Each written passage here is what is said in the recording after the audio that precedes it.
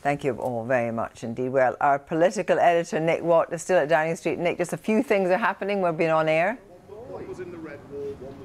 Well, we've had two ministers resigning since we've been on air. As you were saying, Simon Hart from the Cabinet as Wales Secretary and Ed Argar as Health Minister. But the one I would really watch is Suella Braverman, the Attorney General. She says she's not resigning, but Boris Johnson should resign. Now, the reason why that, that intervention is significant is firstly, Suella Braverman said she's going to stand for the leadership so leadership bid launch. But the real significance is that she is one of the Spartans. That's the 28 Conservative MPs who voted against Theresa May's Brexit deal in every single major vote. I tell you who's not a Spartan.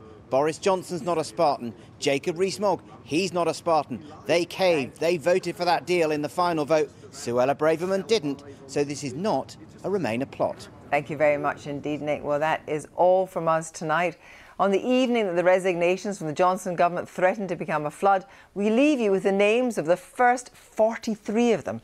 As Nick just said, there are already more since we came on air. See you tomorrow to find out who they are if there are more to come. Good night.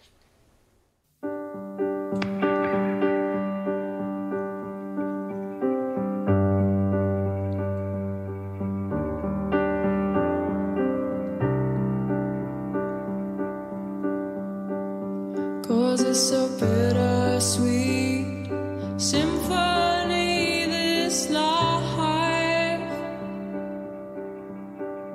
Trying to make ends meet. You're a slave to the money then you die.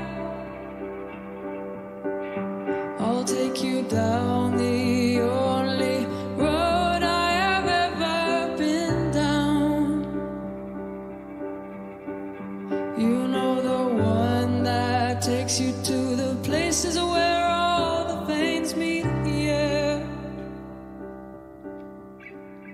And no change, I can't change, I can't change, I can't change.